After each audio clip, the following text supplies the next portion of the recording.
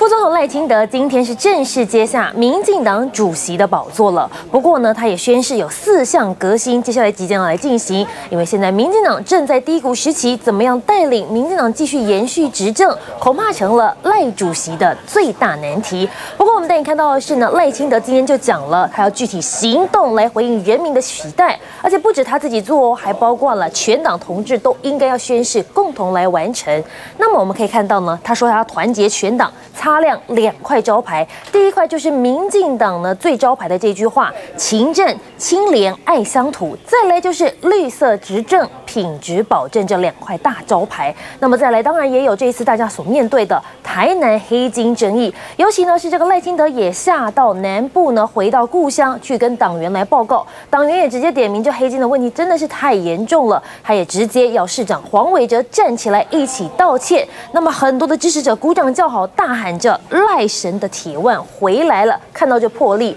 但是魄力还不够，当然还需要四项革新了，包括了积极杜绝黑金，那么还要用一些民主的原则来增补人才，再来就是积极找回支持民进党的力量，也要回应年轻世代他们所需要的需求。那么这样子的铁腕整军突破，能不能带领民进党冲破逆境？这也关乎到了二零二四这一战能不能继续延续执政了。